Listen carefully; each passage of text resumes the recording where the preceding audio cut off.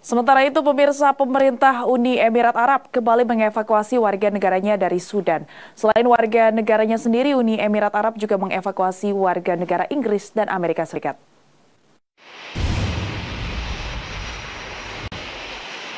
Konflik yang terjadi di Sudan membuat sejumlah negara mengevakuasi warga negaranya dari Sudan, salah satunya Uni Emirat Arab.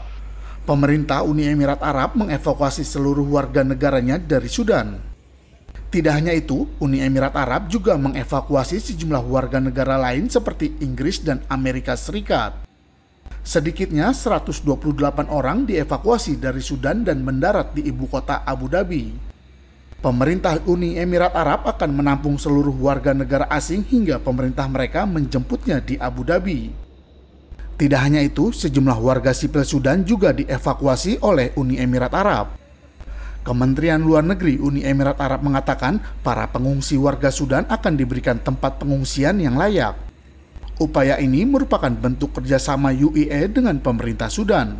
طلعنا والله لانه الوضع ما كان امن خرطوم ابدا مو امنه يعني الضرب لحد الان شغال تمام بالحمد لله يعني الامارات وفرت قوافل طلعتنا لبورت سودان استضافونا بالفندق عندهم لحد اليوم لحد امبارح بالليل لحتى طلعنا الحمد لله Konflik perebutan kekuasaan yang terjadi di Sudan hingga kini masih terus bergejolak.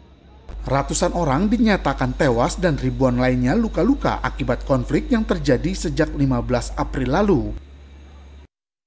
Pasukan RSF sendiri kini mulai melakukan penyerangan ke sejumlah warga sipil. Mereka mulai menjarah rumah warga sipil untuk mendapatkan makanan dan bahan-bahan keperluan lainnya.